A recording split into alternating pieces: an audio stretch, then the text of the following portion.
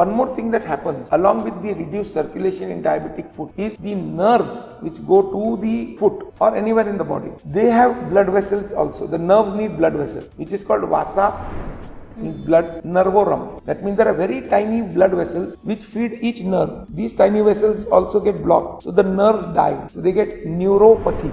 Neuropathy means the sensation in the foot is lost. So their sense of pain is lost. Their sense of pressure is lost. And their sense of temperature is lost.